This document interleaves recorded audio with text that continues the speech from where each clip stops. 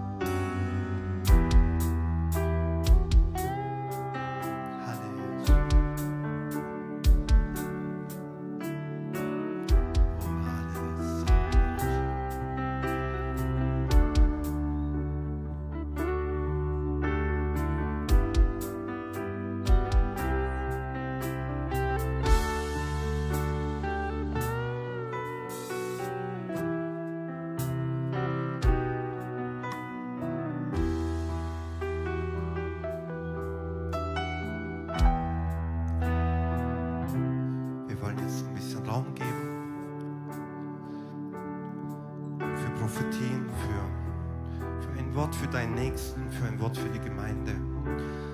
Wenn du ein Wort zur Auferbauung hast, dann komm bitte vor zur Gemeindeleitung. Lass es prüfen und gib es weiter. Glauben.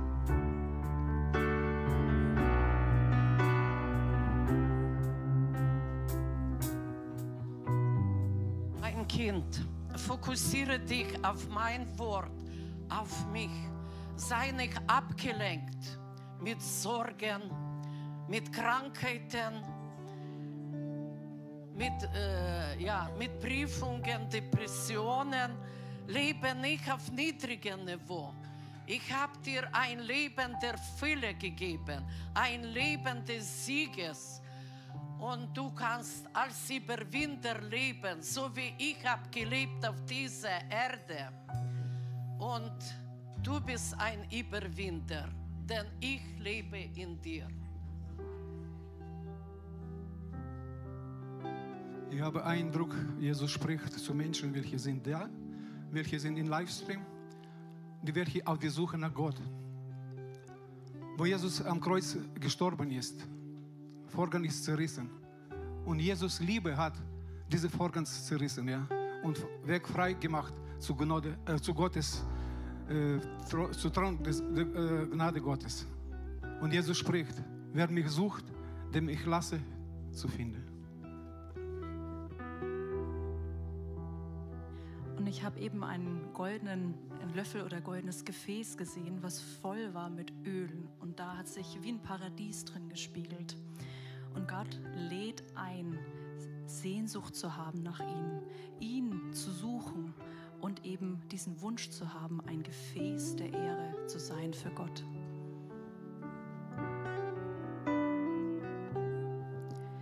Ich habe einen Fluss gesehen und am Ufer auf beide Seiten ist voll mit prachtvollen Bäumen. Manche wirklich mit wunderbaren Früchten und andere mit Blüten. Die fangen an zu blüten, aber in diese Bäume sind auch Äste, die nichts rausbringen. Und der Herr will diese Äste beschneiden. Der will von uns wegnehmen. Er ist wie ein Baum, der nah am Wasser gepflanzt ist, der Frucht trägt Jahr für Jahr und dessen Blätter nie verwelken. Was er sich vornimmt, das gelingt. Und das will der Herr mit uns machen, wenn wir es zulassen. Und ich bitte Gott, dass jetzt seine wunderbare Wort und Gebet für uns durch Arthur betet. Lass uns aufstehen zum Gebet. Vater, wir danken dir für dein Wort, Herr. Und wenn du in deinem Wort offenbarst, dass du beschneiden willst, dann wissen wir, es ist dein Wort, denn du hast es lange vorausgesagt.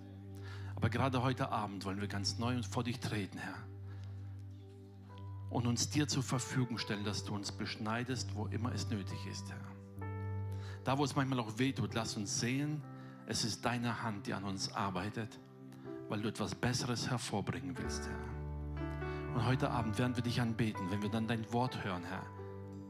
Gebrauche das alles, um uns zu verändern, dir zu Ehre. Hab Dank dafür, Herr. Amen. Amen.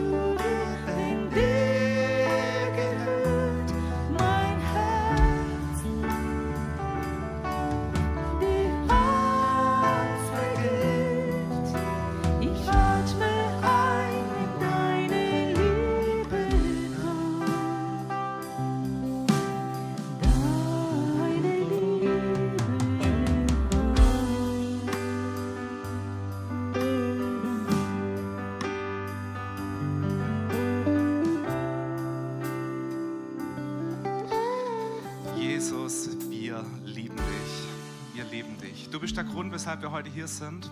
Du hast vor 2000 Jahren dein kostbares Blut an Golgatha vergossen, dass wir heute erlöst, befreit, errettet und geheilt hier stehen können. Halleluja. Jesus, du bist alles wert und wir möchten dir unsere Herzen geben, wie wir es gerade auch gesungen haben. Wir lieben dich und, und ich habe den Eindruck, dass ich dir sagen soll, Gottes Arm ist nicht zu kurz, um in deine Situation heute Abend einzugreifen. Halleluja. Amen.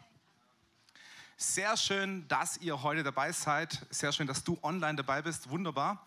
Und ihr auch im Saal herzlich willkommen. Ist heute jemand da, der zum ersten Mal in unseren Räumen hier ist? Streck doch mal kurz deine Hand, dass wir dich ein bisschen feiern können. Sehr genial, ihr zwei. Sehr gut. Schön, dass ihr da seid. Wunderbar. Ihr kriegt noch ein kleines Geschenk. Ähm, so.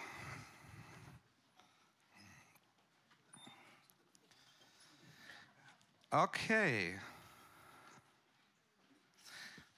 Wir kommen zum Opfer. Und ich möchte dich mal bitten, wo du jetzt gerade bist, mach mal deine Augen zu. Okay? Mach mal, mach mal alle eure Augen zu. Okay, sehr gut. Jetzt stell dir mal kurz dein Bankkonto vor. Okay? Da ist eine Zahl, da ist eine Zahl, okay? So, und jetzt stell dir vor, alle, keine Ahnung, Bitcoins, Aktienoptionen und was du sonst noch irgendwie hast, alles, was das wert ist, und rechne das mal zusammen. Okay, rechne das mal zusammen, dann hast du eine Zahl im Kopf. Bei manchen geht es schneller, bei manchen dauert es ein bisschen. Und ich will dich jetzt einfach was fragen. Wie viel Geld ist für Gott zu viel?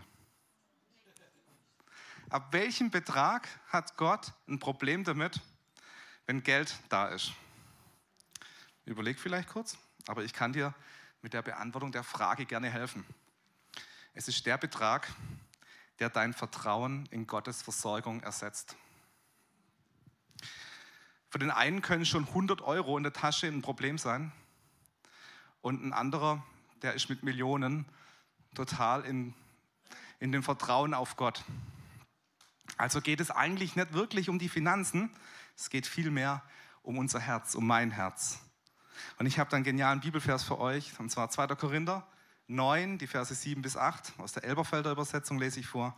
Jeder gebe, wie er sich in seinem Herzen vorgenommen hat, nicht mit Verdruss oder aus Zwang, denn einen fröhlichen Geber liebt Gott. Gott aber vermag euch, jede Gnade überreichlich zu geben, damit ihr in allem, alle Zeit, alle Genüge habt und überreich seid zu jedem guten Werk. Ich bete noch für das Opfer. Die Ordner können schon mal rumgehen. Jesus, Herr, ich danke dir, dass du uns einen Vater gezeigt hast, der im Überfluss gibt und der so gerne versorgt und der auch jede einzelne Not jetzt gerade kennt. Und so danke ich dir, dass wir heute mit diesem fröhlichen Herzen geben dürfen, Herr. Und wo das Herz noch nicht so fröhlich und frei ist, Herr, da bete ich, dass du, dass du uns berührst und dich ganz neu vorstellst, als unser Versorger und als der, der uns liebt, Herr. In Jesu Namen. Amen. Okay. Wir kommen zu den Ansagen. Ich habe heute ein einziges Date anzusagen. Und zwar habe ich darüber nachgedacht, ähm, unsere Vision 2024 ist ja, dein Reich komme, dein Wille geschehe. Und ich habe mir so gefragt, wie sieht es denn aus, wenn das Reich Gottes kommt? Wie kann ich denn das festmachen? Das ist ein bisschen abstrakt. Und da habe ich mir gedacht, da tut ein Rückblick doch eigentlich ganz gut. Und wir wollen uns nächste Woche am Mittwoch am 31. um 19 Uhr hier treffen zur Mitgliederversammlung. Und zwar wird es da einen Rückblick geben und auch eine Danksagung für alles, was wir im Jahr 2023 erleben dürften. Wir haben auch den Ausblick in die Zukunft, was 2024 und darüber hinaus da ist. Es wird eine Vision geben. Es wird einen Bericht geben über unsere finanzielle Situation. Dann erfahrt ihr auch was über unsere Informationskanäle, WhatsApp, E-Mail-Newsletter und andere Kanäle. Ähm, ihr werdet von unseren Netzwerkgemeinden hören in Deutschland, ihr werdet von unseren Missionsfeldern hören, international und was die aktuelle Kleingruppenarbeit macht. Wir werden eure Fragen beantworten, die ihr schon bereits eingereicht habt. Und wir werden Spendenquittungen verteilen. Genau. Kommt bitte zahlreich am Mittwoch, dem 31. Ich weiß nicht, also dürfen da auch interessierte Mitglieder kommen zur Mitgliederversammlung? Yes, also wenn du noch kein Mitglied bist und du das einfach mal anschauen willst, sei dabei und schau dir an. Genau. So, jetzt darf ich noch den Anatoli nach vorne bitten. Yes, vielen Dank, Anatoli. Schön, dass du da bist. Gott sei Ehre, wie im Himmel so auf Erden. Amen. Jesus Christus ist der Herr, ja. Und er ist derselbe, gestern, heute und Ewigkeiten. Amen, Halleluja. Bibelkenner, Halleluja. Lob und Ehre sei Gott. Heute wir feiern erste Linie Jesus Christus, ja. Herrliche Lobpreis, ja, Lieder, herrliche Musik, alles, ja. Alles, alles ist zur Ehre Gottes. Aber heute wir feiern auch Segnung unserer Brüder und Schwestern, welche haben Glaubensgrundkurs gemacht, ja. Das ist unsere eine Ehre hier, die heute die nach vorne äh, rufen, ja, und äh, für die beten. Und alles wird liegen in Gott, einfach in Gottes Händen, ja. Und ja, ich habe vorbereitet was für euch. Das, ich sehe viele neue Gesichter hier. Oh, jedes Mal, wenn du kommst, neue Gesichter und ich freue mich, dass ich kann ankündigen, dass wir haben Glaubensgrundkurs. wir brauchen Leute, welche wollen Jesus Christus nähen, kennenlernen, ja, sein Wort und ja, in Gottes Nähe sein. Nicht jetzt, aber für immer. Halleluja.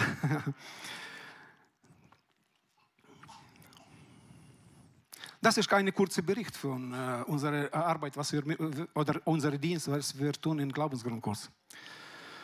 Gott sei Ehre und Dank, dass wir dürfen ja, hier ihm dienen und für die Menschen und vor allem, dass die Menschen gibt es hier, ich glaube, und in einem Livestream, welche gucken, welche wollen ihm kennenlernen und näher kommen. Ja?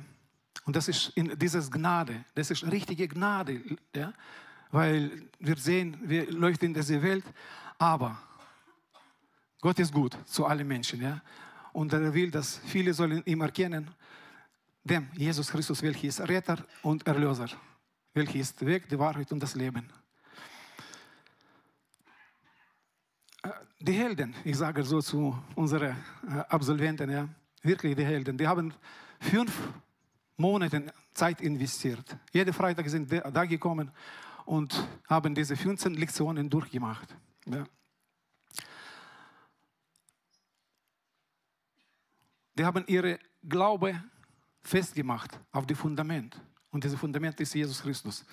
In 1. Korinther 3, 11 ist geschrieben, einen anderen Grund oder Fundament kann niemand legen, außer dem, der gelegt ist, welcher ist Jesus Christus. Gibt es keinen anderen Grund, auf welcher ist so fest in dieser Zeit, in zukünftiger Zeit, aber vor allem in alle Ewigkeiten.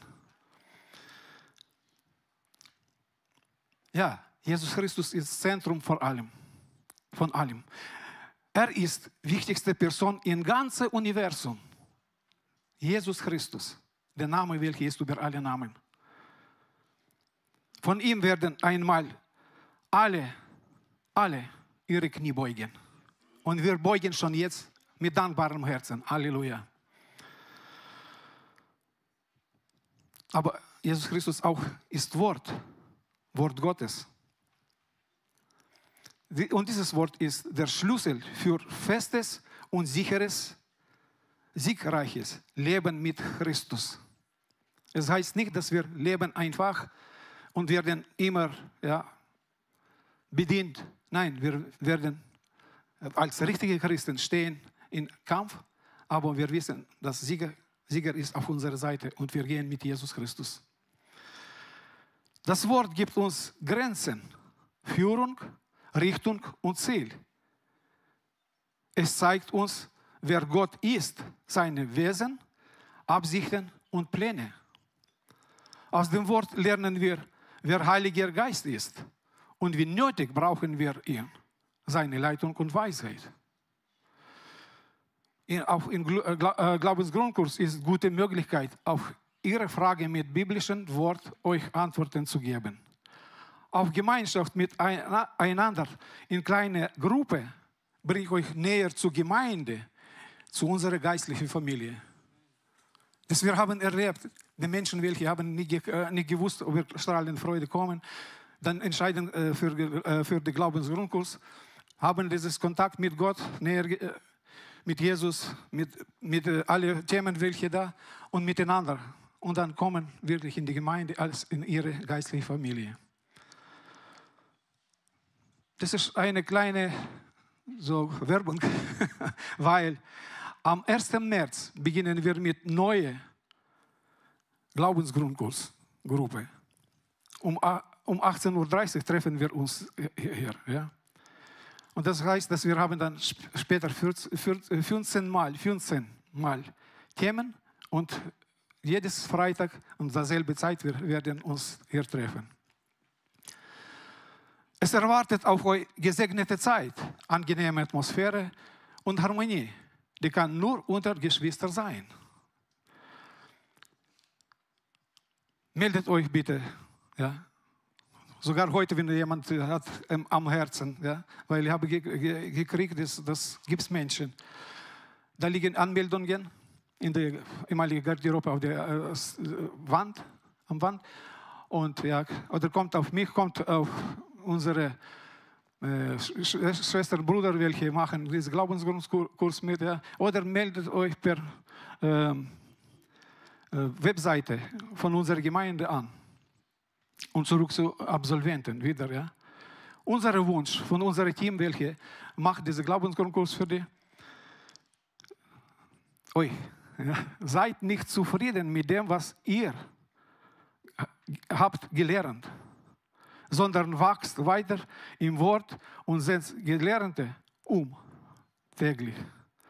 Zum Schluss möchte ich euch Gottes Wort mitgeben. Es steht in Judas erste, ja, da ist ein Kapitel Judas, 20, 21 Verse. Doch für euch, meine liebe Geschwister, ist der Glaube, de- den Gott euch selbst geschenkt hat, wie ein festes Fundament. Baut eure Leben darauf. Betet in der Kraft des Heiligen Geistes. Bleibt fest in der Liebe Gottes und wartet geduldig auf den Tag, an dem euch unser Herr Jesus Christus in seine Barmherzigkeit zu ewigem Leben führen wird. Amen. Behaltet das in, Her in euer Herzen, ja, und pflegt weiter Gemeinschaft, kommt in die Gemeinde, macht weiter Bibelschule. Und was Gott hat auf eu- euer Herz ge- aufgelegt, macht Dienst in die Gemeinde auch. Jetzt ich äh, rufe nach vorne euch zum Segnung. Imgard, Irmi, das ist deine Urkunde, dass du hast, ja, absolviert.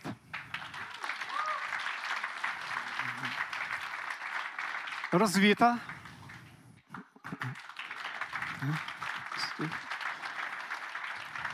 Stella.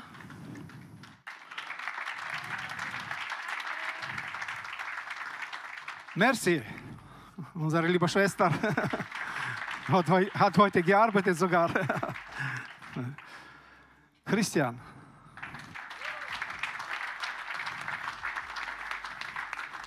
Und eine Schwester, die konnte heute nicht kommen, die ist krank, erkrankt. Ja. Darum herzliche äh, Grüße dir und Gottes Segen und Heilung in Jesu Namen. Und ja, die kriegst später. Ja, Gemeindeleiter, Pastoren, Älteste, kommt bitte nach vorne, segnet unsere Absolventen.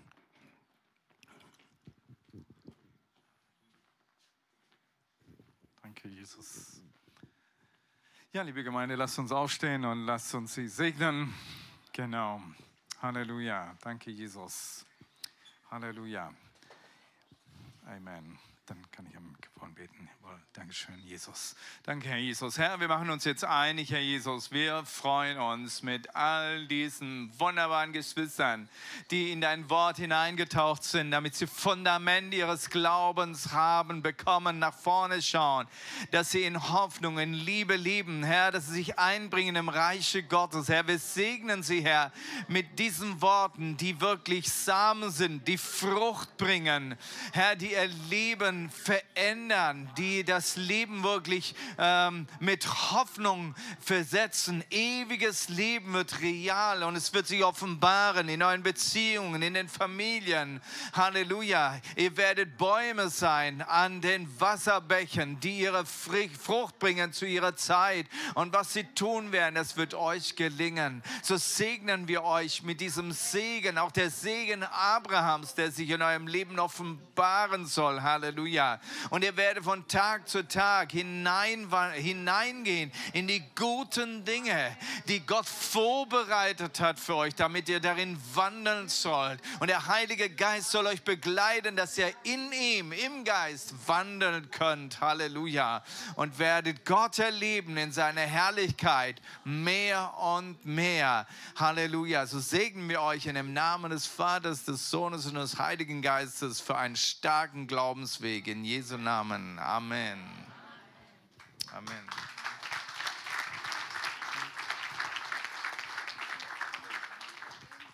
Wollt ihr was sagen? Ja. Es gibt ein bekanntes Zitat, das heißt, Kinder sind keine Fässer, die gefüllt, sondern Feuer, die entfacht werden wollen. Und so ging uns es allen, als wir als junge Kinder Gottes frisch im Glauben zum Glaubensgrundkurs gekommen sind und in diesem Grundkurs einfach so eine große Liebe der ganzen Kursleiter erfahren durften. Wir haben Jesus groß gemacht und wir haben viel gelernt. Wir haben zusammen die Bibel gelesen und studiert, gemeinsam gelacht und geweint. Und was wir gelernt haben oder was ich für mich persönlich rausgenommen habe, ist, dass das Kreuz leer ist, weil Jesus lebt. Und dass unsere Sünden uns vergeben sind, wenn wir zu ihm kommen und darum bitten. Und was ich gelernt habe, ist, dass unser Name von uns allen im Buch des Lebens steht. Und ich bin so dankbar für euch alle, die wir erleben durften, jeden einzelnen von euch, dass Gott euch zu so großartigen Menschen gemacht hat, mit so einem großen Herzen, die uns diesen Dienst erwiesen haben. Und ich bitte euch jetzt alle nach vorne, einmal dich, Tamara, die Irina, Manuela, Duncan und dich, Anatoli. Und ich bin mir ganz sicher, dass der Himmel jetzt offen ist.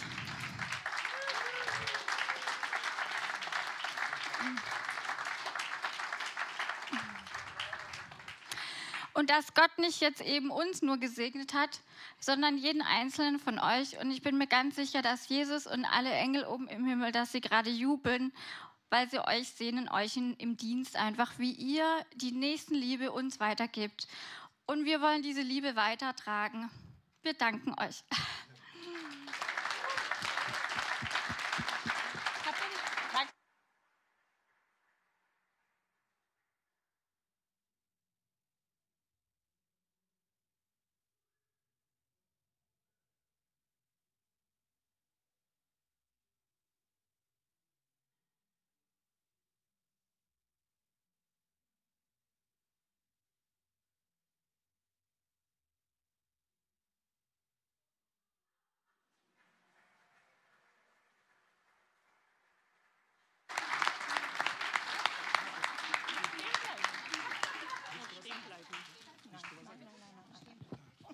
Einen Moment, einen Moment, noch äh, eine Minute.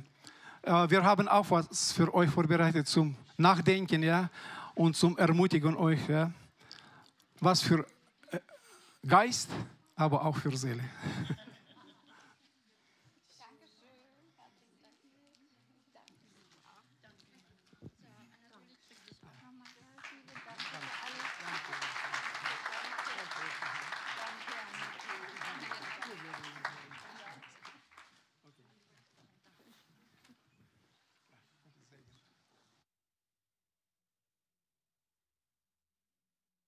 ist alles schon gesagt, ja, alles gemacht, was von uns, ja. Gott sei alle Ehre, das ist nicht wir.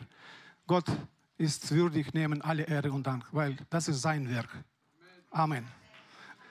Jetzt unser lieber Bruder Ralf, äh, Frank. Ja. ja, alle Brüder und Schwestern, wir freuen mich. Ja. Jetzt hast du Wort.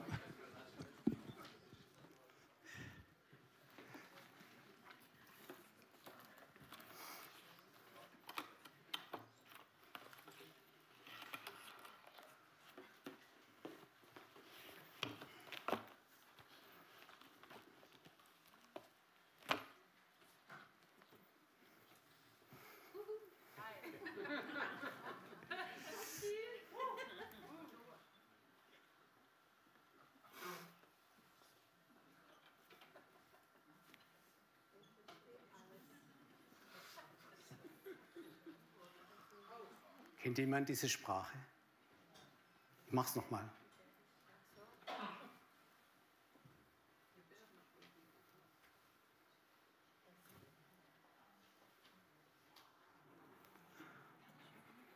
Wenn Taubstumme hier wären, jetzt gerade unter uns im Gottesdienst, die hätten das sofort verstanden und würden es sogar erwidern. Das ist die berühmte Gebärdensprache.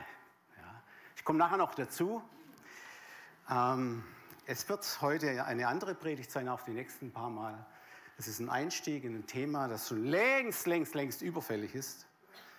Es geht um Behinderte in der Gemeinde, um behinderte Menschen schlechthin in unserer Gesellschaft, aber natürlich ganz besonders in unserer Gemeinde, äh, in unseren Gottesdiensten und in unseren ganzen Veranstaltungen im Leib Jesu, im Reich Gottes. Ja? Und äh, da möchte ich einsteigen mit zwei Schriftlesungen. Die eine steht in Jesaja 35, 1 bis 6. Die Überschrift heißt das zukünftige Heil. Die Wüste und Einöde, wird frohlocken und die Steppe wird jubeln und wird blühen wie die Lilien. Sie wird blühen und jubeln in aller Lust und Freude. Die Herrlichkeit des Libanon ist ihr gegeben, die Pracht von Karmel und Sharon. Sie sehen die Herrlichkeit des Herrn, die Pracht unseres Gottes. Stärke die müden Hände und macht fest die wankenden Knie. Sagt den verzagten Herzen, seid getrost, fürchtet euch nicht, seht, da ist euer Gott. Er kommt zur Rache, Gott, der da vergilt, kommt und wird euch helfen. Dann werden die Augen der Blinden aufgetan und die Ohren der Tauben geöffnet werden. Dann werden die Lahmen springen wie ein Hirsch und die Zunge der Stummen wird frohlocken, denn es werden Wasser in der Wüste hervorbrechen und Ströme im dürren Land. Jetzt machen wir einen großen Zeitensprung gehen ins Neue Testament nach Markus 7 und lesen hier Vers 31 bis 37 Überschrift die Heilung des Taubstummen. Und als er wieder fortging, also Jesus aus dem Gebiet von Tyrus, kam er durch Sidon an das Galiläische Meer, mitten in das Gebiet der zehn Städte. Und sie brachten zu ihm einen, der taub und stumm war, und baten ihn, dass er die Hand auf ihn lege. Und er nahm ihn aus der Menge beiseite und legte ihm die Finger in, den, in die Ohren und berührte seine Zunge mit Speichel und sah auf zum Himmel und seufzte und sprach zu ihm, Hephata, das heißt, tu dich auf. Und sogleich taten sich seine Ohren auf und die Fessel seiner Zunge löste sich und er redete richtig. Und er gebot ihnen, sie sollen niemanden sagen, das niemand sagen. Je mehr er es aber verbot, desto mehr breiteten sie es aus. Und sie wunderten sich über die Maßen und sprachen, er hat alles wohl gemacht. Die Tauben macht er hören, die Sprachlosen macht er redend. Er hat alles wohl gemacht. Das ist äh, das Leitthema meiner nächsten Predigen. Da steht also über allem, Jesus Christus hat am Kreuz alles wohl gemacht. Andere Übersetzung sagt auch, alles gut gemacht. So, jetzt komme ich zu einer äh, hörbaren äh, äh, Begrüßung, liebe Gemeinde, liebe Gäste aus nah und fern, liebe Zuhörer, natürlich auch vom Livestream. Ähm, herzlich willkommen. Ja, die Botschaft heute äh, über, über, Behinderte in der Gemeinde, im Gottesdienst und so weiter, überhaupt, wie sieht die Bibel das alles, ähm, ist längst überfällig. Ja? Äh, selten hört man also eine Predigt über, über diese Personengruppe, äh, die meistens ein bisschen am Rande der Gesellschaft stehen und sie sollen ja nicht am Rande der Gesellschaft stehen, sie sollen auch nicht am Rande stehen der Gemeinde, in den Gottesdiensten, sondern voll im Zentrum integriert sein. Ja, Amen. Ich möchte heute mit euch zusammen also eine Predigtreihe anfangen zu diesem Thema. Er hat alles wieder wohl gemacht. Das steht ja in diesem Vers 37, Markus Vers 7. Ihr Lieben, es ist sicherlich, also diese Aussage ist sicherlich eine der schönsten und markantesten Aussagen im Neuen Testament, eben über das Heilswerk Jesu am Kreuz. Ja, und es gilt für alle Menschen und äh, es hat Bedeutung für jetzt, für heute, für die Zukunft, für die ganze zukünftige Weltzeit. Und ihr Lieben, dieser Aussage ging aber, das haben wir ja gerade gelesen, von dieser Volksmenge da um diesen Taubstummen herum eine große Verwunderung voraus. Ja? Kein Wunder, kann ich sagen, bei dem Wunder. dass die, sich, dass die verwundert waren. Ja, kein Wunder bei diesem gigantischen Wunder in Vers 37. Ja. Vielleicht nochmal, les nochmal. Und sie wunderten sich, steht hier, ja, diese Volksmenge, über die Maßen und sprachen, er hat alles wohl gemacht, die Tauben macht er hörend und die Sprachlosen macht er redend. Und lieben da bin ich ganz ehrlich heute Abend vor euch und vielleicht gibt es, geht es manchen Menschen, manchen Hörer dieser Botschaft und Leser, wenn ihr, wenn ihr das mal in eurer Bibel lest, genauso wie mir. Ja? Das war eine von vielen, ich glaube 30 Heilungswundern, ja, was wir gerade gelesen haben von Jesus. Ja? Aber die Methode, die er hier anwandte, ja, damit die Heilung zustande kommt an diesem Taubstummen, also mit diesem Finger im Ohr, mit dem Speichel auf der Zunge, an diesen behinderten Menschen, das ist schon gelinde gesagt sehr speziell. Die Jungen würden sagen, crazy, ja, heftig, sowas zu tun, ja. Manche sagen vielleicht sogar anstößig, ein bisschen auch eklig, ja. Also, ähm, was Jesus da mit diesem Mann macht, da denkst du, oh Jesus, äh, also, was, äh, was, wie handelst du an diesem Menschen? Ja, wie gehst du mit dem um? Das, ihr Lieben, das verstößt oder das würde heute gegen sämtliche Knickeregeln des Benimms, des Anstands und des Umgangs brechen. Versteht ihr? Da kann man ja fragen, Jesus, was machst du da? Wieso so eine, ja, an, umständliche, anstößige, zusätzliche Handlung an diesem taubstummen Menschen?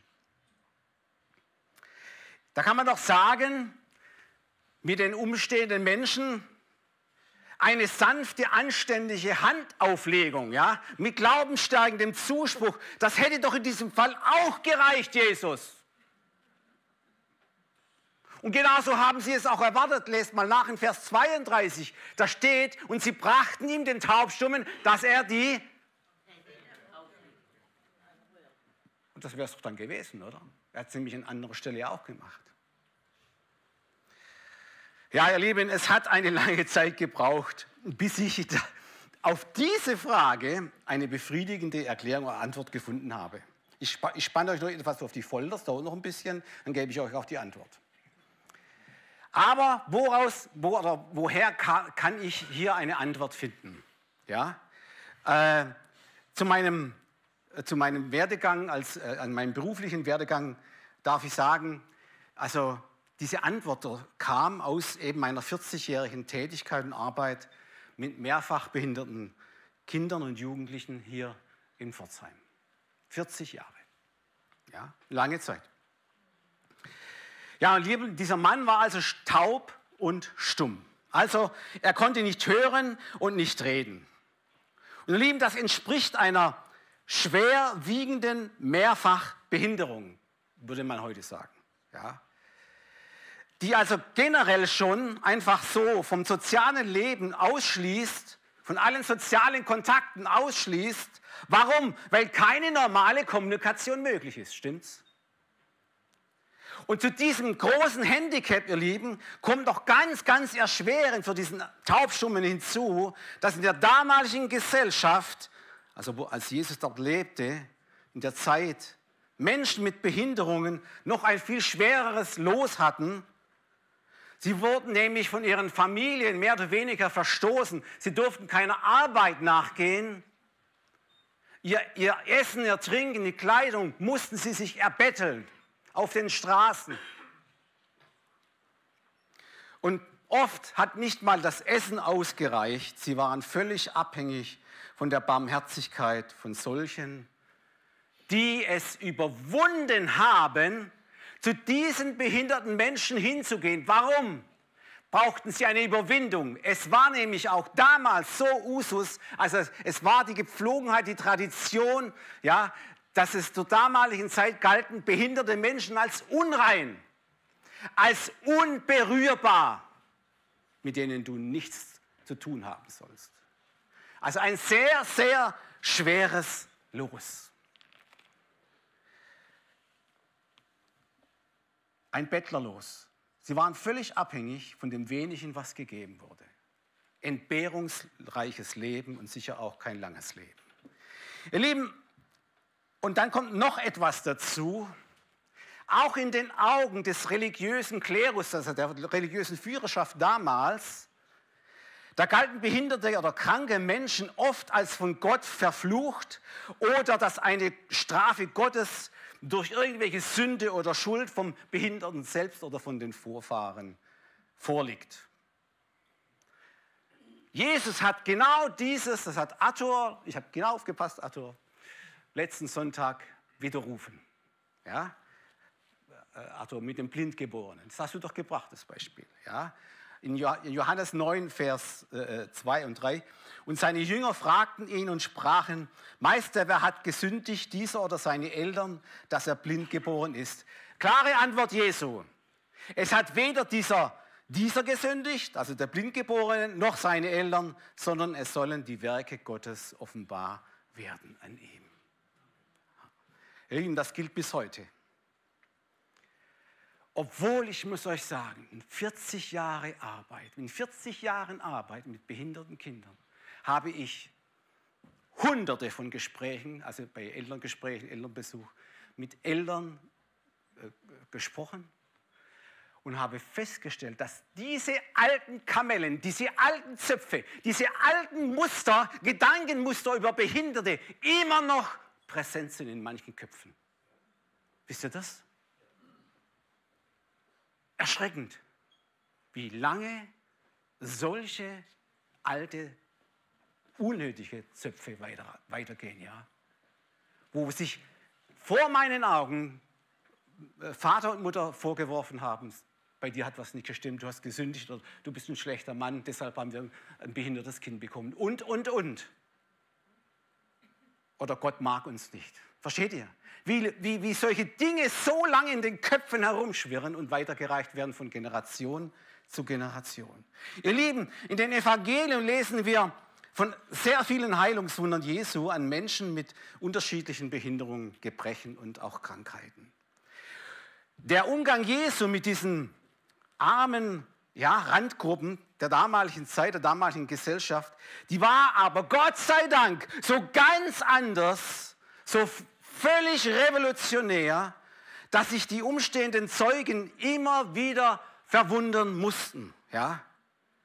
Das war ja, ihr Lieben, das war ja eigentlich schon skandalös, dass sich der Heilige, ja, der heilige Gottessohn von den Unreinen, von den Unberührbaren sogar berühren ließ.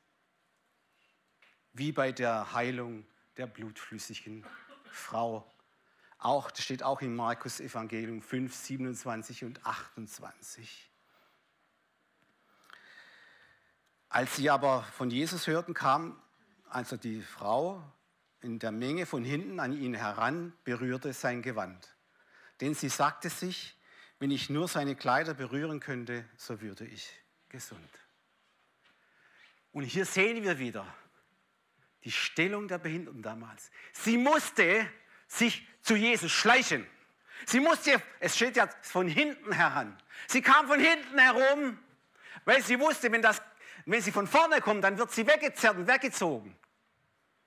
Weil es war ja, sie war ja unrein, unberührbar. Die durfte niemanden berühren. Ihr Lieben, das war eine Berührung, die Jesus zugelassen hat. Und wir wissen ja, die Heilung erfolgte sofort. Hier bei den Taubstummen hat Jesus nicht etwas zugelassen an Berührung von, von diesem behinderten Menschen, sondern er ging aktiv auf ihn zu. Es steht geschrieben, ich, ich habe es ja vorgelesen, und er nahm ihn zur Seite. Raus aus dieser Menge, die mit Behinderten nichts zu tun haben wollten.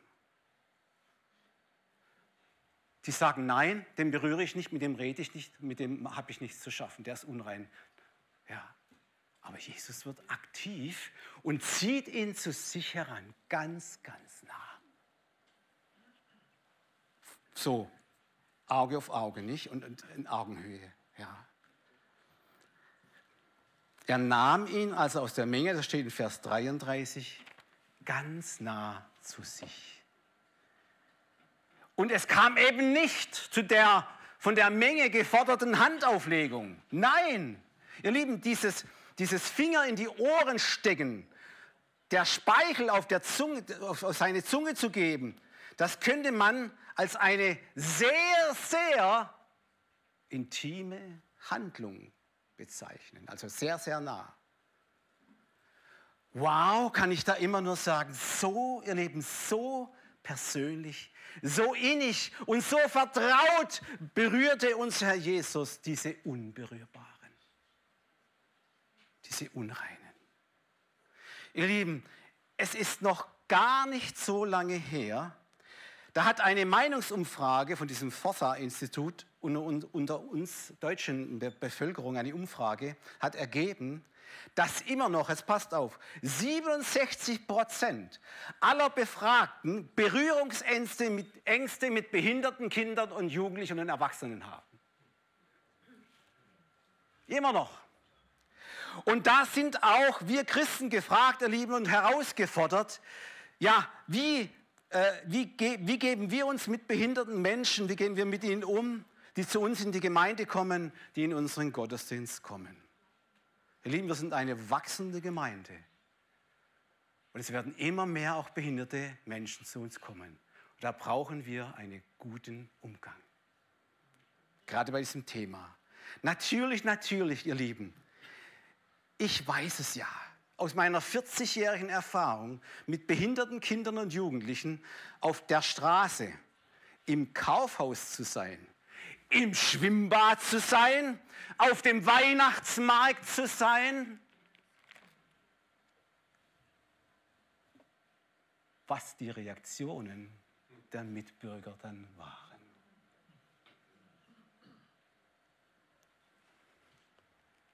Ihr Lieben, klar, natürlich diese Reaktionen bloß nicht hingehen oder sowas. Ja, ähm, die trauten sich oft ja auch nicht. Man hat ja Unsicherheiten, nicht? Ich verstehe das auch. Es sind, versteht ihr, die, Menschen haben mangelnde Möglichkeiten, äh, mit Menschen, mit behinderten Menschen in Kontakt zu kommen. Ja? Und dadurch äh, ist, es eigentlich, das, ist es einfach nicht vertraut. Und was einem nicht vertraut ist, davor hat man ein bisschen Bammel, ein bisschen Angst. Ja? Und traut sich nicht da zuzugehen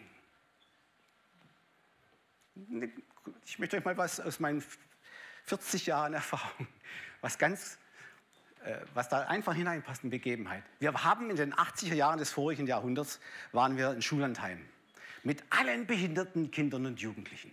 Da hatten wir große Reisebusse, ja, und mit denen waren wir fleißig unterwegs. Und da haben wir auch, wir sind am Bodensee war unsere, unsere, unsere Heimatstation, ja, so ein, so ein Dorf, so ein Feriendorf. Und von da aus haben wir Ausflüge gemacht in die Schweiz und nach Österreich. Und in den 80er Jahren, ihr Lieben, gab es ja noch kein Schengener Abkommen in Europa. Ja? Da musstest du ja die Pässe und alles zeigen, nicht? Und da wurde streng kontrolliert, vor allen Dingen auf der Schweizer und auf der österreichischen Seite. Und dann, war es, dann ist es ja normalerweise so, du fährst dahin, das, früher war das so, wäre das noch äh, den älteren Generationen, da fährst du hin, da musst du anhalten, dann kommen streng schauende Grenzpatrouillen, äh, äh, ja.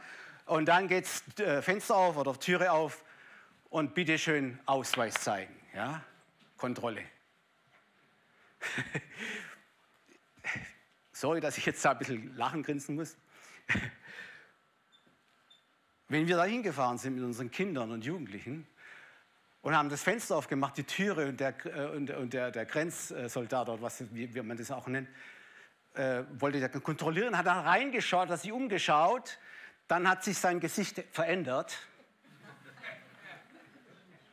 Dann, hat er das, dann hat er, ist er zurückgetreten und hat gesagt, ja, fahren Sie weiter. Bloß nicht da reingehen, nicht? Ja? Bloß nicht in Kontakt kommen mit diesen etwas, ich gebe es ja zu, manchmal seltsam aussehenden Kindern und Jugendlichen. Und uns war es ja recht, ja, uns war es ja recht, wir konnten überall, haben wir freie Fahrt gehabt, ja. Wie beim Schengener Abkommen, ja, durch und Nicht? Aber ich möchte damit nur sagen und zeigen, wie das so ist ja, in unserer Gesellschaft, wie da die Berührungsängste sind mit Behinderten. Ihr Lieben, da möchte ich einfach jetzt zu dem Thema Berührung etwas sagen. Ganz einfach. Es ist eine ganz einfache Lösung. Berührungsängste baust du ab, indem du berührst. Nicht eine geniale, einfache Lösung. Befremdliches wird durch aufeinander zugehen bald vertraut. Oder biblisch ausgedrückt, nehmt euch einander an, wie euch Christus angenommen hat. Römer 15, Vers 7. Zur Ehre Gottes steht da, zum Lob Gottes.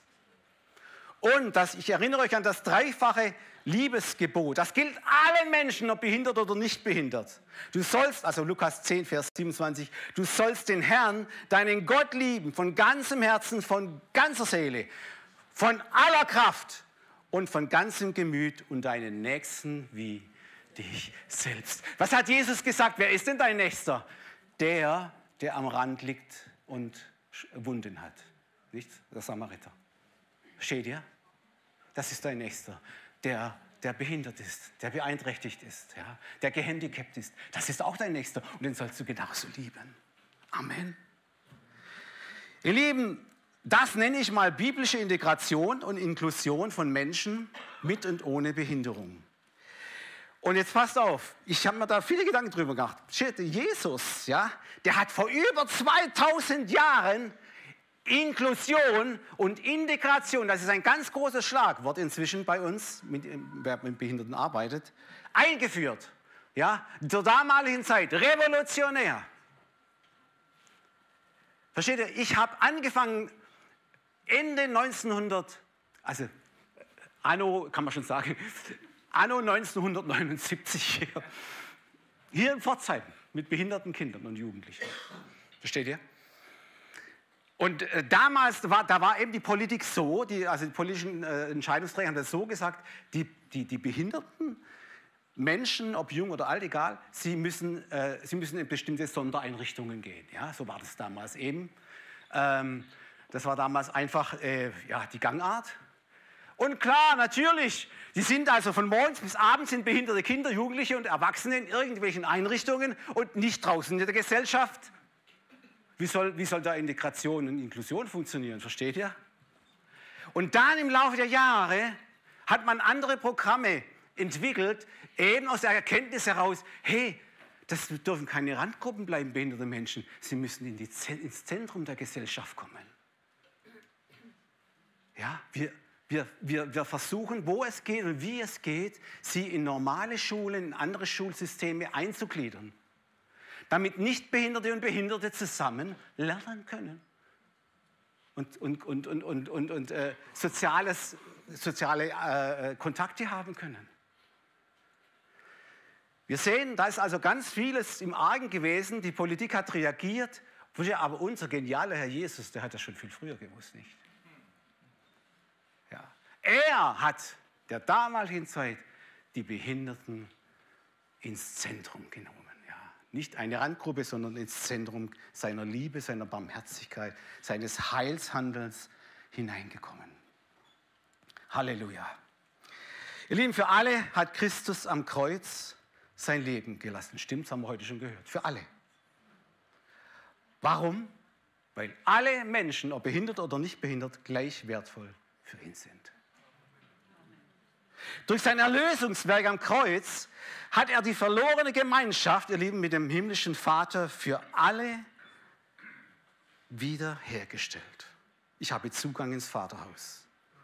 Ja, liebe Gemeinde, liebe Gäste, liebe Zuhörer vom Livestream auch.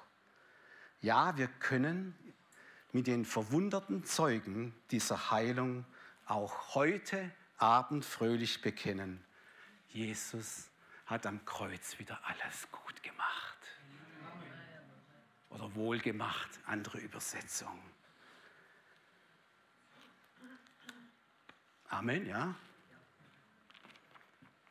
Ich glaube, das, ihr Lieben, das ist doch die Botschaft die allen Menschen eben gilt.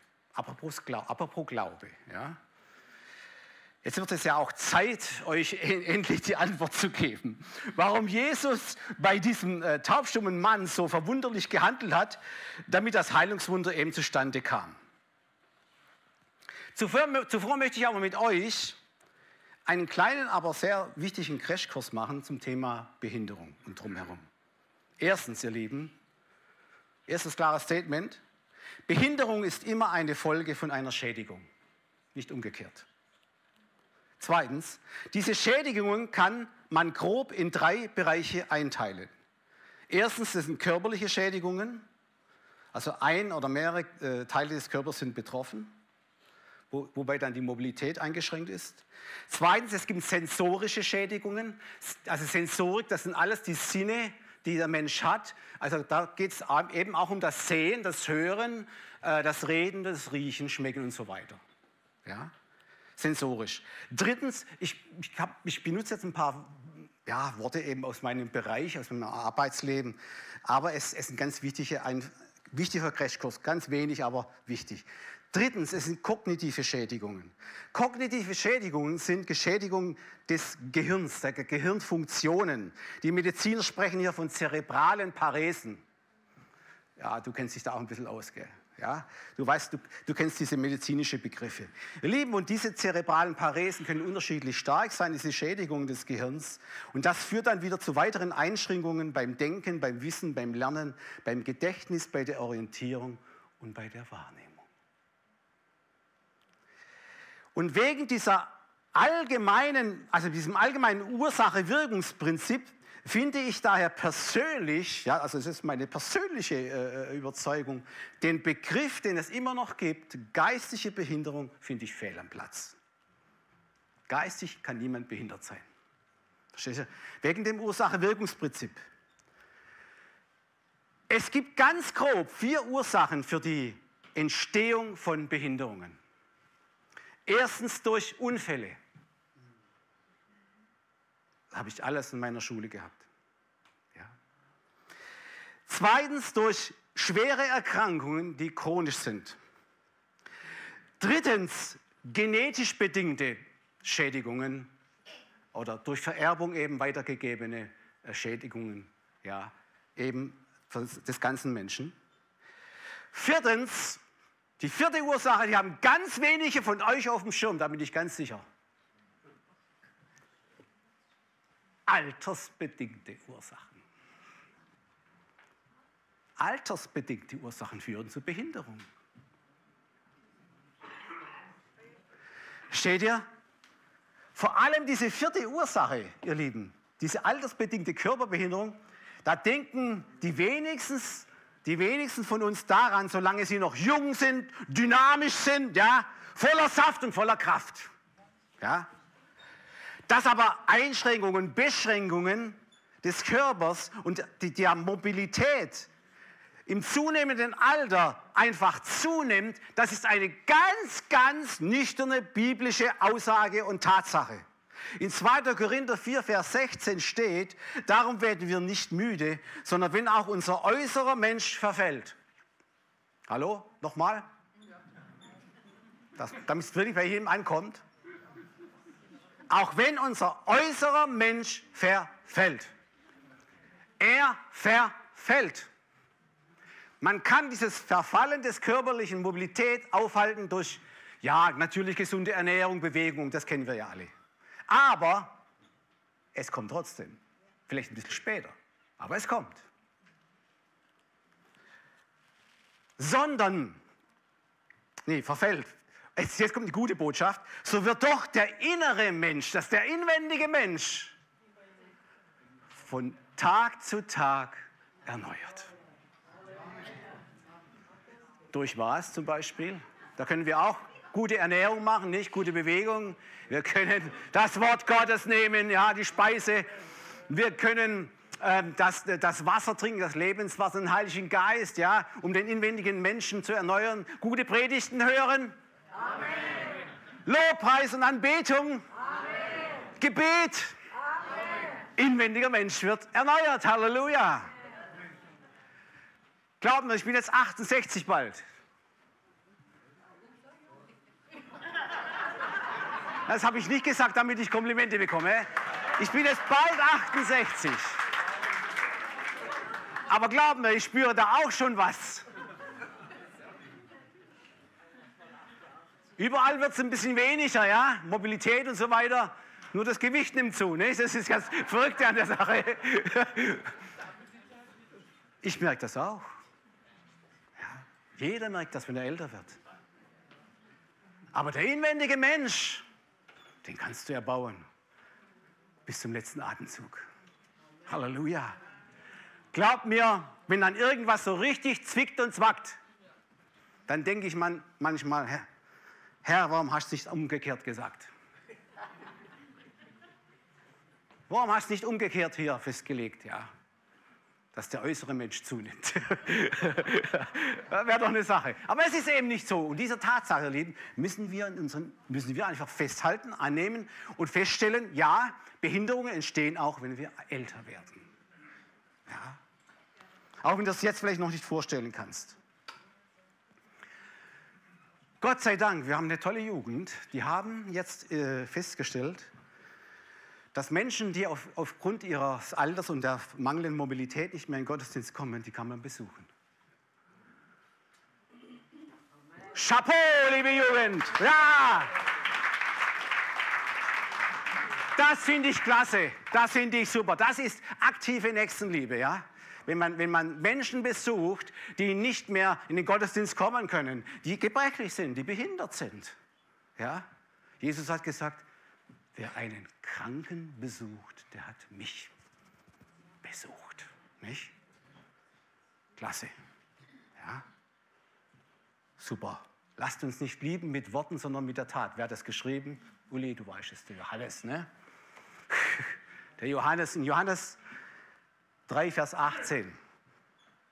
Meine Kinder, schreibt er, lasst uns nicht lieben mit Worten, noch mit der Zunge, sondern mit der Tat und der Wahrheit.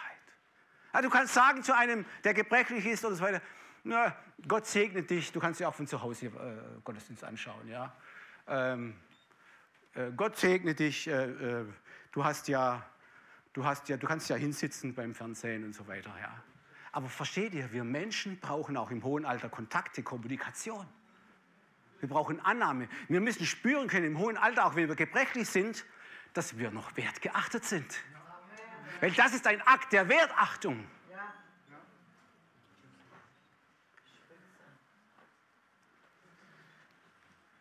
Okay, ihr Lieben, bei dem taubstummen Mann, es kommt, ich, muss ja, ich habe eben noch keine Antwort gegeben, bei diesem taubstummen Mann ist die Ursache seiner Behinderung also im sensorischen Bereich. Halten wir das mal fest.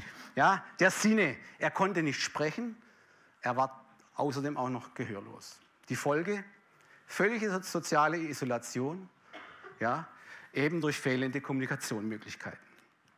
Leben, wir haben in unserer Schule von Anfang an Kinder, die nicht hören und sprechen können, die Jugendliche auch natürlich. Wir haben also da diese Kommunikationsmöglichkeit der Gebärdensprache äh, genutzt, damit sie aus ihrer inneren und äußeren Isolation herauskommen und mit jedem Menschen kommunizieren können. Über die Gebärdensprache. Ja? Gebärdensprache gibt es ungefähr seit 150 bis 200 Jahren. Jetzt, jetzt haltet euch mal fest. Jetzt haltet euch mal fest, was ich jetzt euch sage. Das ist wirklich wahr. Im Jahre 1880 wurde auf einem Konzil in Mailand, die spinnen die Italiener, ja, wurde, wurde festgestellt, wir hören auf, Gebärdensprache anzubieten, weil das ist eine Affensprache. Affensprache. Müsst ihr euch mal vorstellen. Und das hat auch lange nachgewirkt. Dies, diese alten Klüngel, wie lange die noch nachwirken. Erst im Laufe von vielen Jahrzehnten später hat man entdeckt, hey, das ist die einzige tolle Möglichkeit, damit Menschen aus der Isolation, der Sprach- und Gehörlosigkeit in die Kommunikation mit anderen Menschen treten können. Und das ist so segensreich, Ich habe das erlebt.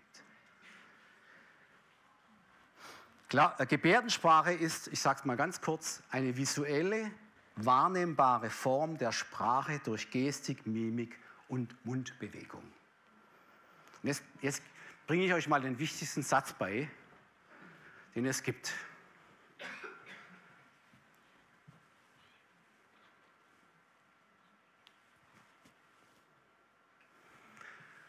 Jesus Christus ist einfache Gebärde, nicht?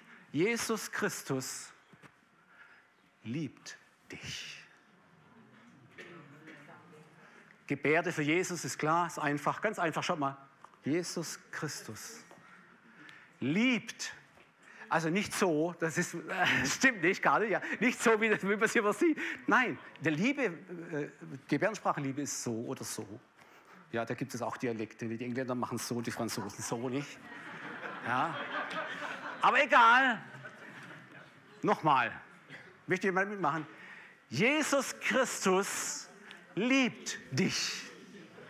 So, jetzt kannst du evangelisieren, ja? Halleluja. Einfach genial, ja? Und jetzt kommt die Auflösung. Dieser taubstumme Mann konnte nicht über die so hochgerühmte Glaubensschiene erreicht werden. Versteht ihr? Jesus konnte ihm keinen Glauben wecken, indem er in einen Vortrag hielt, dass er der vollkommene Gottessohn ist, dass nichts unmöglich ist bei ihm, ja, dass alles möglich ist. Konnte er nicht bei, er konnte er nicht hören.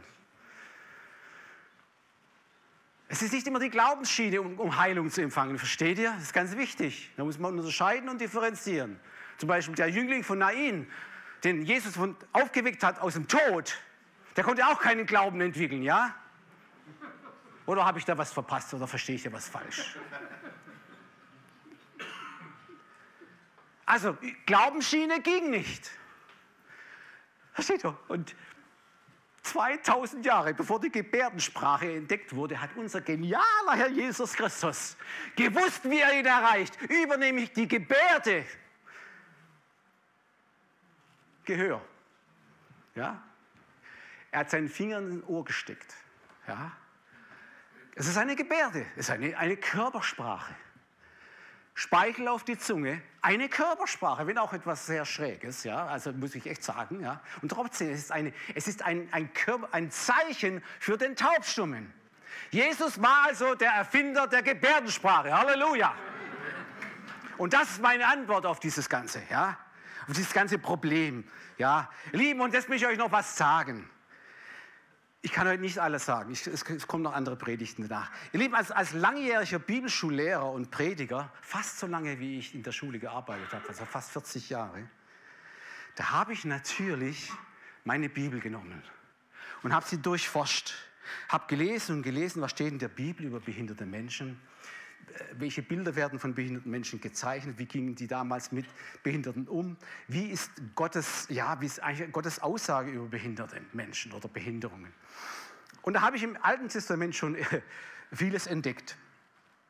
Ja, dieser Predigtext, den ich am Anfang gelesen habe aus Jesaja 35, ist in seiner Gesamtaussage einer von vielen alttestamentlichen Prophezeiungen für das kommende Reich Jesu, für die kommende Heilszeit. Ja? Für, für, für die herrliche, für dieses, äh, eine, eine Voraussage der herrlichen Erlösungswerkes Christi am Kreuz.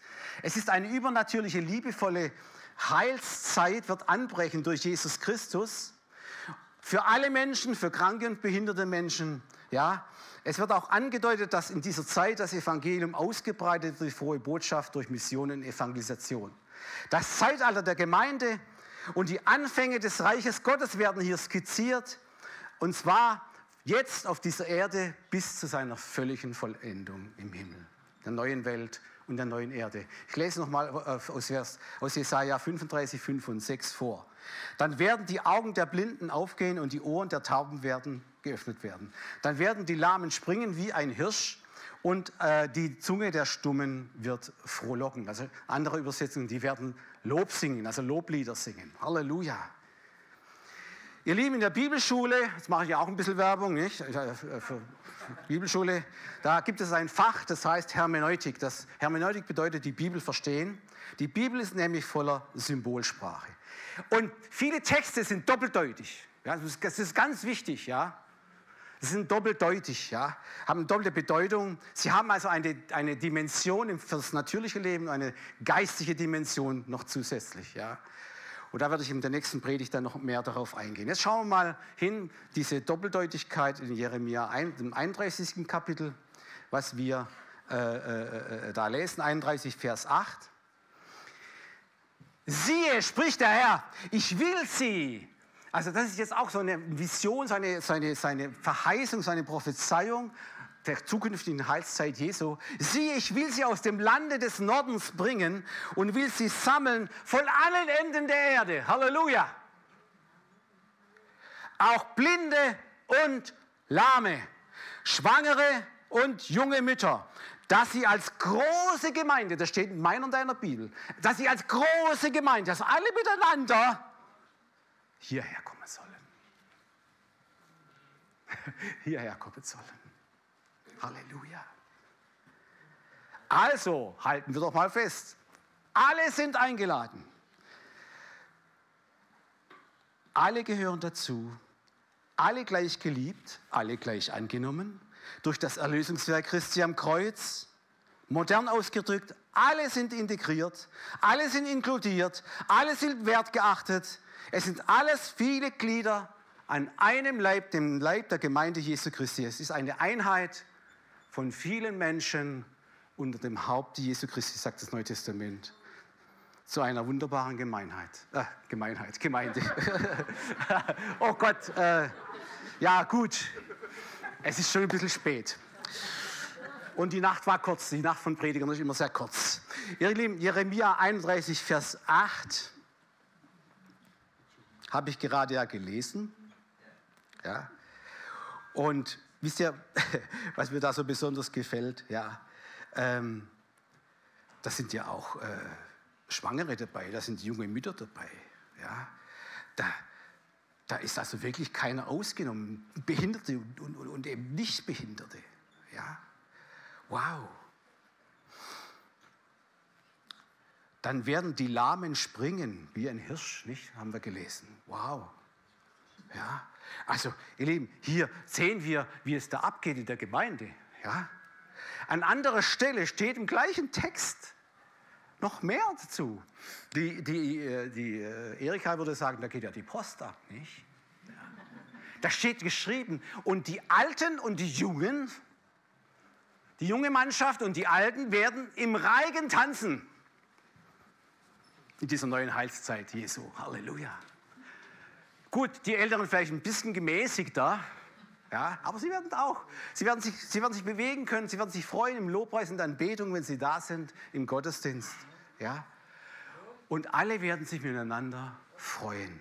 Ihr Lieben, alles wunderbare Verheißungen, äh, die die Bibel uns gibt, eben über alle Menschen, Behinderte oder auch Nichtbehinderte. Ja. Halleluja.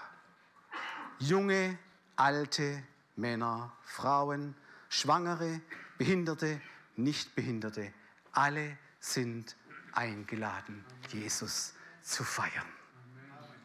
Und jetzt eigentlich der Höhepunkt heute Abend. Wie viel Zeit habe ich noch? Minus, ah, noch drei, okay, ganz schnell. Äh, es ist so eine herrliche Geschichte, die möchte ich euch nicht vorenthalten, wenn es um Behinderte geht, ja, und so weiter. Es geht, um ein, es geht jetzt ganz speziell um einen behinderten Mann. Wir, wir begegnen diesem behinderten Mann äh, im Alten Testament, er heißt Mephiboset. Er war der Sohn von Jonathan und Enkel von Saul. Ist kurze Vorgeschichte. Jonathan äh, war ja der Freund, äh, dicke Freundschaft mit, mit David. Äh, Saul hat, äh, wurde von Gott verworfen wegen bestimmter Sachen. Er, er fiel dann später auch in, in, den Schlachten und so weiter. Und als er tot war und David den, den Thron besteigen konnte, fiel David ein, meinem Freund Jonathan möchte ich alles Gute erweisen. Ja? Und da ist ihm eingefallen, ähm, er könnte mal da äh, seinen Diener äh, hinschicken in dieses Haus von Jonathan, wer da noch alles lebt. Und da fand dieser Diener diesen Mephiboset, also ein Kind, ein Sohn von, von Jonathan. Und der, das muss ich jetzt vorausschicken, wurde durch einen tragischen Unfall gelähmt. Kann man davor lesen, Kapitel, nämlich, das passierte so, seine Amme äh, hat sich erschreckt durch irgendeine Sache, ich weiß nicht mehr genau was. Äh, sie hatte Angst gehabt und rannte mit dem, dem, dem, dem, dem, dem Baby, dem Jungen, dem Kind, dem Mephibosheth auf dem Arm davon oder weg und fiel dabei hin. Kannst, kannst alles nachlesen. Und fiel dahin. Und dieser Mephibosheth, dieser, dieser, dieser kleine Sohn, wurde verletzt. Und zwar so schwer, dass er offensichtlich nicht mehr laufen konnte, also äh, schwer äh, eingeschränkt war. Ja? Und ähm, ja, jetzt lese ich da mal was. Ja.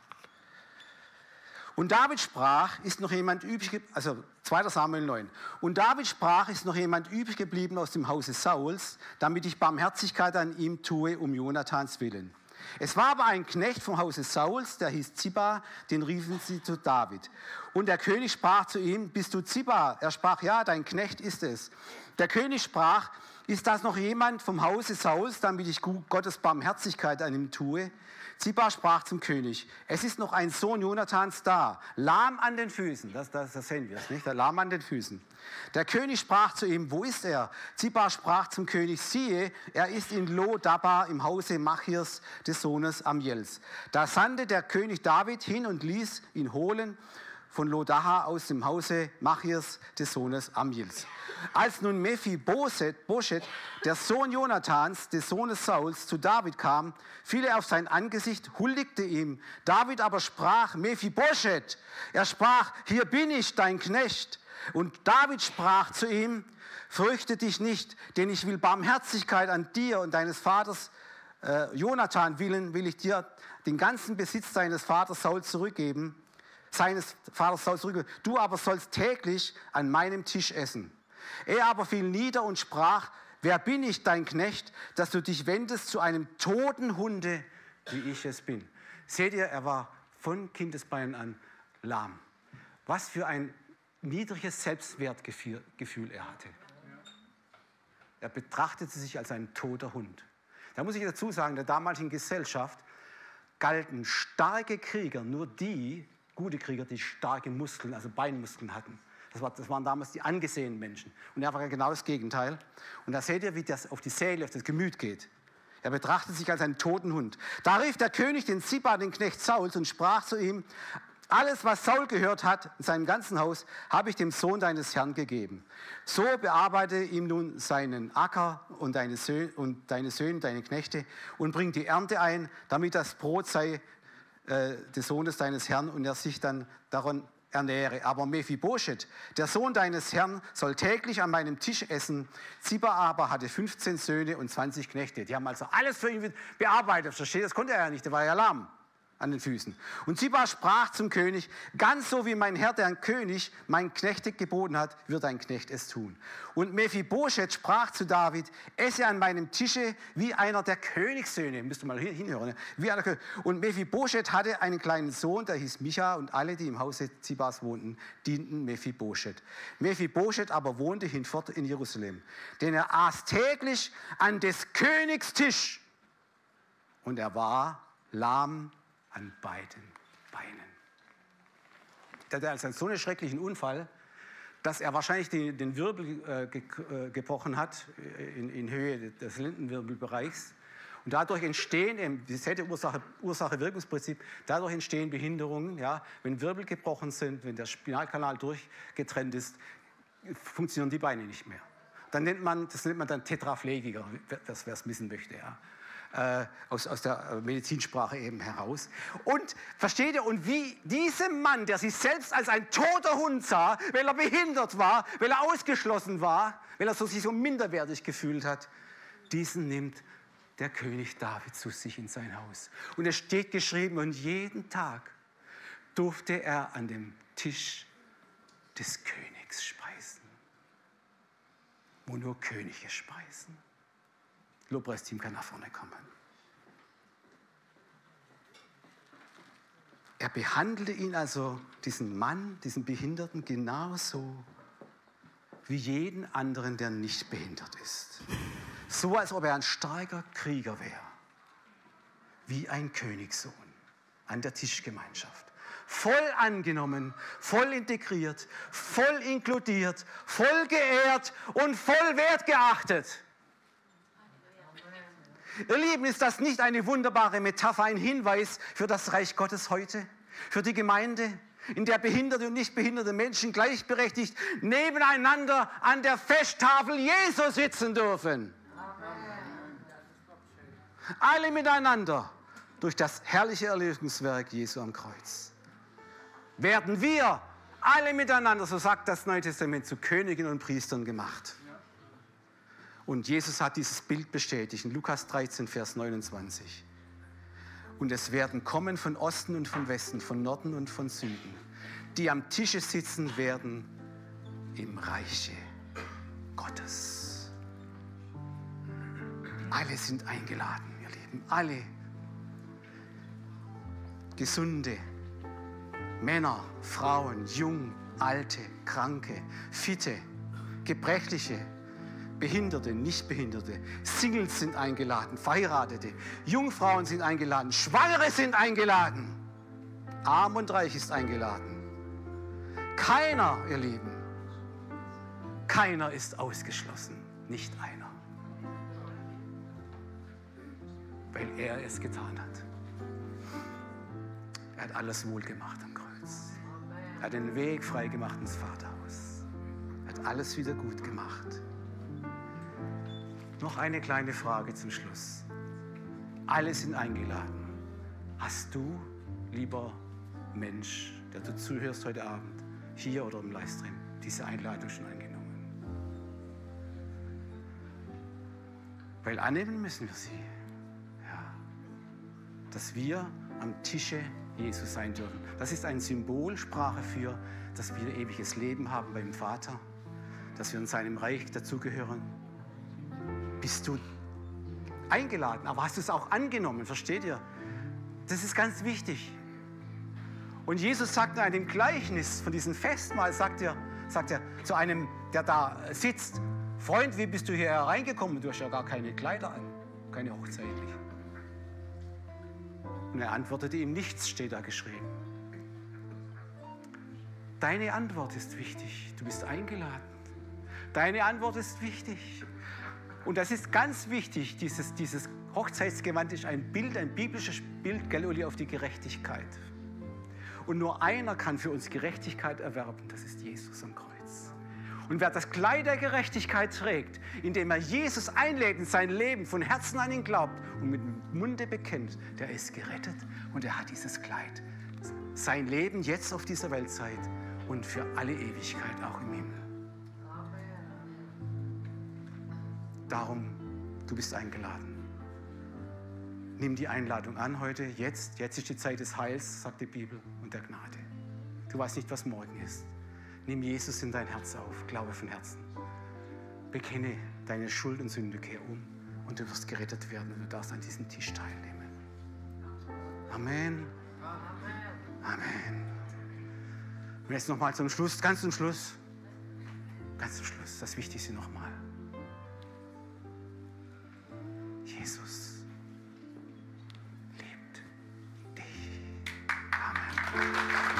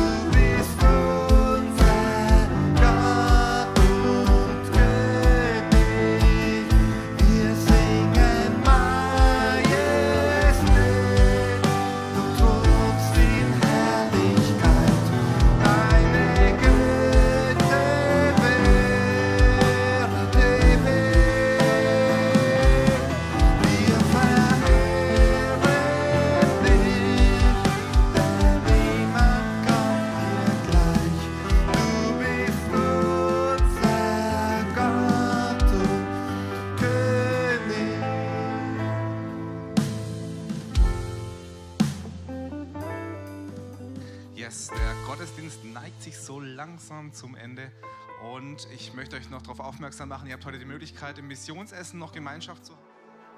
Schön, dass du heute reingeschaltet hast und danke für deine Gebete und deine finanzielle Unterstützung. Wenn du Gebetsanfragen hast, kannst du diese per E-Mail an die eingeblendete E-Mail-Adresse schicken. Bei Anfragen oder Anregungen kannst du auch eine E-Mail schreiben an info@missionswerk-sdf.de. Wenn du mehr Infos brauchst, kannst du auf unserer Website vorbeischauen. Diese lautet missionswerk-sdf.de.